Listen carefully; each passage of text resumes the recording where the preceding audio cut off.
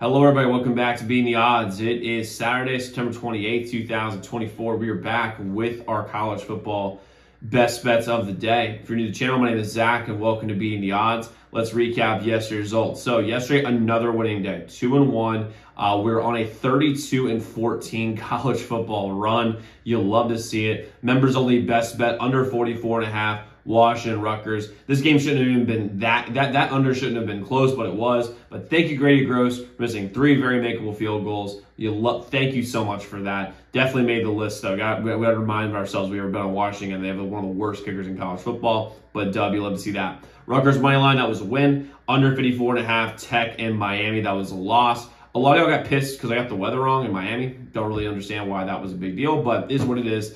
Overall for the year, 43 and 25, 21 8 best bet. We're on a 40, like I said, a 32 and 14 uh, college football run right now. And we have such a good slate today in college football. So it's just, oh God, it's immaculate. It's beautiful. And we have 11 picks total today. Six of those I'm going to give you guys here on YouTube. Really excited to give you those, especially since a lot of those are the big games on the YouTube today. Um, we also have five members only best bets. You can get all our members only best bets, zdmbets.com slash picks. Website is linked in the comments below. By the way, we have five picks for members only. So it's $65, five picks, only 13 bucks a pick. That ain't bad at all.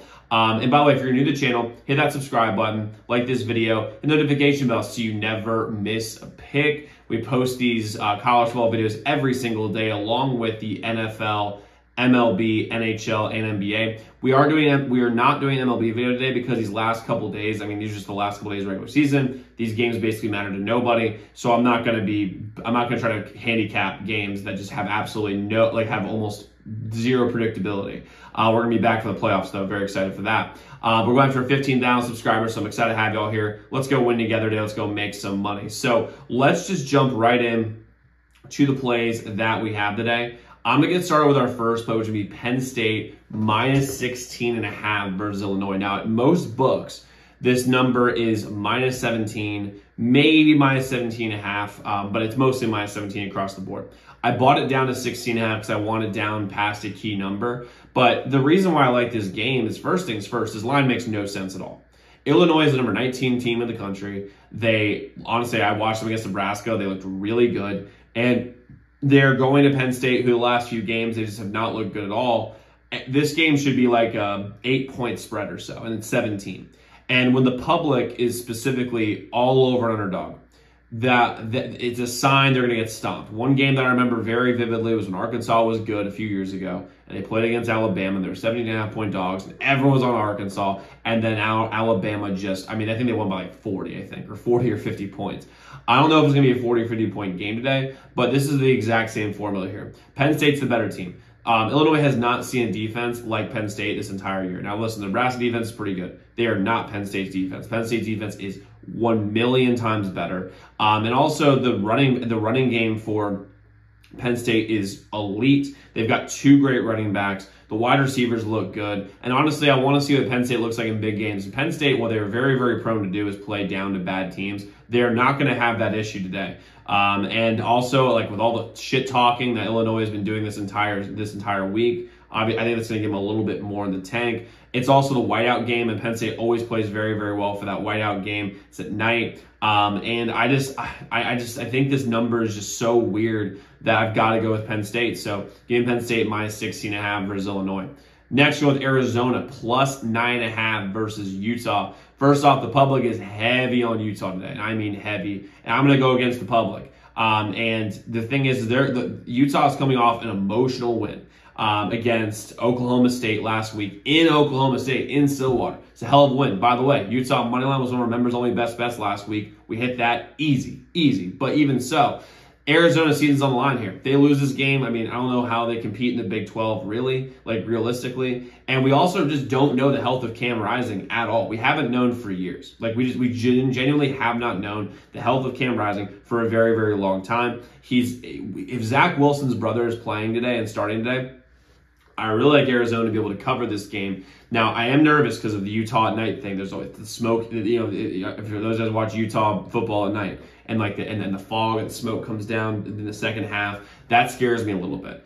But I do think I think Utah wins this game. I think Arizona covers. I think Arizona's going to come out hot.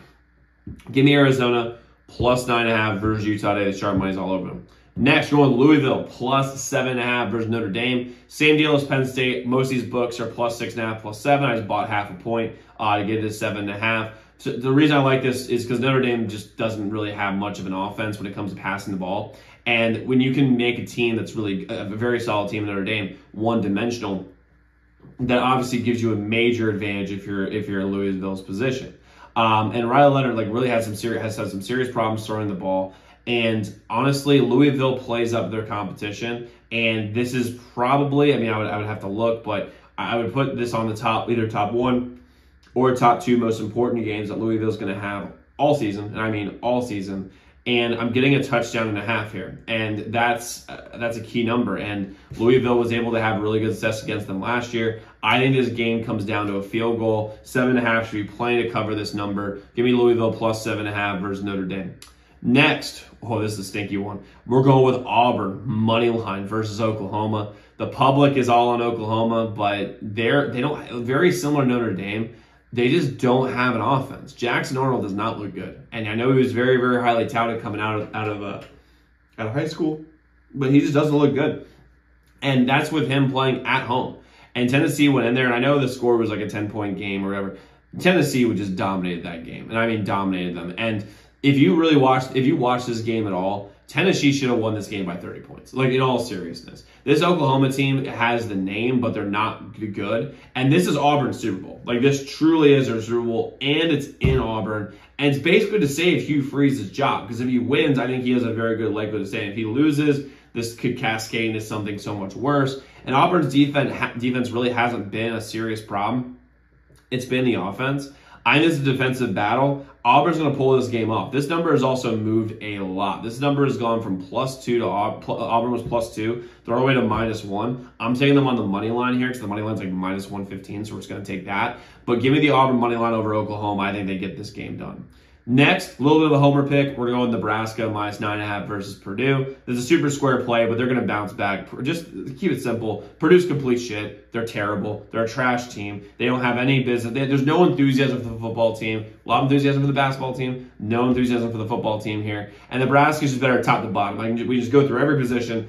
They're better. Dylan Raiola's first uh, road game, but it's not going to be as tough of a road game as it honestly could be. And I think he's going to be able to ease it in a little bit. Uh, Nebraska's going to come out hot because, again, Nebraska needs to go. If it's for them to have any chance of making noise in the postseason, getting to the college football playoff, if any chance at all, they have to be six and one heading into the Ohio State game. And uh, they, they, this is a game they've got to win. They've got to do it convincingly, especially with the bye coming next week. I think Nebraska gets this thing done. They're minus nine and a half. I think a lot of books are minus ten. I haven't. I got a nine and a half on um, DraftKings. But give me Nebraska minus nine and a half versus Purdue here today. They're just better in every single spot. And it's, it's a very square play. I'm aware, but give me Nebraska. And then we're going with Minnesota plus ten and a half versus Michigan. This is a huge, and I mean huge, letdown spot for Michigan after their win against USC last week. Minnesota's season season's viability is on the line, and the sharp money, I mean, it's heavy, and I mean heavy on them. They're only getting 16% of the bets, but 27% of the money. That's a made. That's a huge split. And Michigan, I mean, again, like they they just had that win they had against USC was impressive on its face, but they looked terrible in the second half. And the USC dominated the second half. USC got punked a little bit. They came into Michigan, thought it was going to be like LSU, and they got punked big time early. And Miller Moss threw one of the worst pick sixes you'll see in like in, in, in the entire season. They had Michigan had tw- I think like 12 or 24. I'm forgetting. Either one's terrible, but 12 or 24 yards of total offense for the final drive. And if you look at Michigan, if that big run doesn't happen, if they, if, if, I forgot who the runner, I think it was I don't think it was Donovan Edwards, but whoever if that last run doesn't happen and this guy breaks, felt like 12 tackles. Michigan loses this game and they're two and two and they look like garbage. And I just think Minnesota's going to keep this game really close. Minnesota's, like I said, seasons seasons on the line here. Michigan's coming off a major, major, major win. I do think Michigan wins the game, but I think it's like a three to seven point game. Uh, 10 half should be playing to cover. Give Minnesota plus 10 and a half versus Michigan here today. Now, I will, I might be adding a pick or two. I got a couple others circled, crazy as it sounds. Um, for the public here today. If I do, I'll post that in the pinned comment below, um, as well as my Twitter. My Twitter's in the description below, and as a member, you'll just get those texted to you. Um, but guys, like I said, we also have five members only best bets today. Five.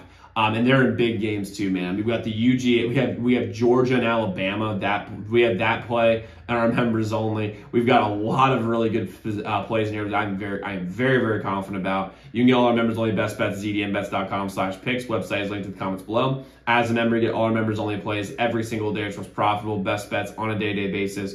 On top you have a direct line to me. So any game you're considering betting, reach out to our hotline number, get a guaranteed response back about any game you're considering betting. Any of our free picks too on YouTube sent to you before these videos come out. That would take advantage of early lines, early odds. I got a website, zdmbets.com slash picks, zdmbets.com slash picks, zdmbets.com slash picks. So guys, go lock in those picks. Let's go win together today. Let's go make some money. I'll see you all tomorrow.